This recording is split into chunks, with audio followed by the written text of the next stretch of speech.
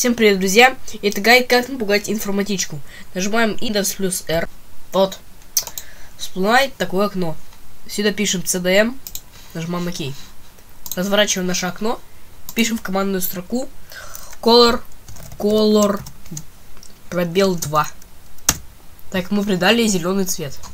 Далее пишем dir slash s. Слэш нужен повернут в, тот, э, в ту сторону. Нажимаем Enter.